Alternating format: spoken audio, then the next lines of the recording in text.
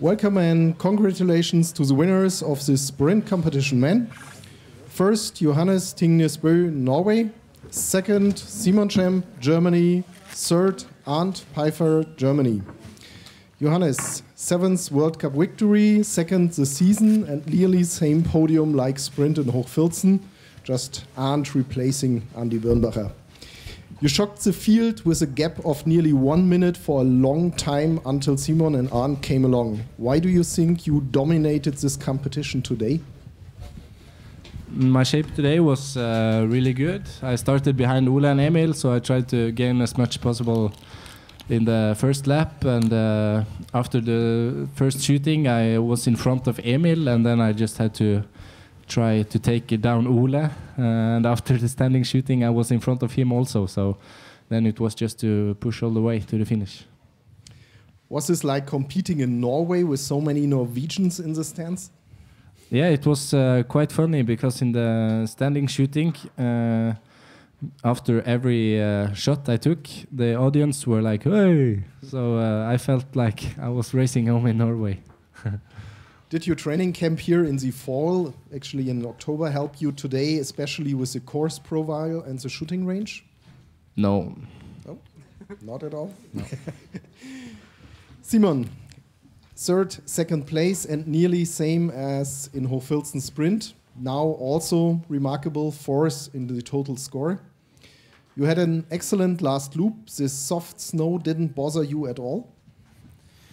I felt really powerful from from the beginning, and uh, I was never in uh, on on my limit the first two loops. So I had a, much power in in for the last loop, and yeah, it was a crazy race. Are you angry even if you don't have used all your power? Maybe you could reach Johannes?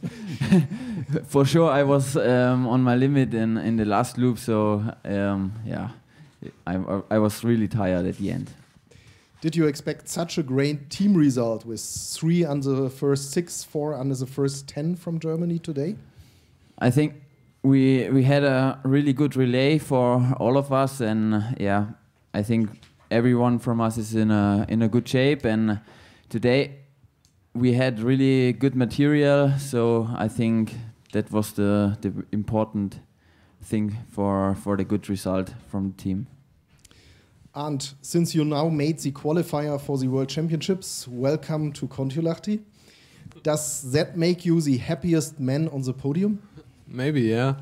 I think it was one of the most important podiums for me because in the last races I uh, had not very good results, so it was yeah was not easy for me. And now I'm very happy that yeah I have a good result.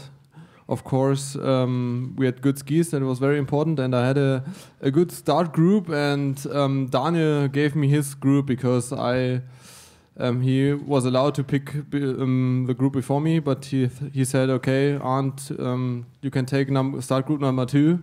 and that was yeah very fair and nice from him. So yeah, I'm very happy to be here again. Was it also a help for your confidence, your good positions already during the relays, the last two relays? Yeah, the relays were very important for me because yeah, I had problems in in the individual races, um, but I knew I'm I'm in a good shape, and yeah, I fight it together with uh, Johannes on Thursday, so I knew the shape is not so bad because yeah, we had a had a good speed on the track. Um, so I knew the shape is okay. Now I have to yeah to do the same on the individual races. So yeah, it was nice that the coaches said I can compete on the relay. Do we have questions? No. Thank you very much.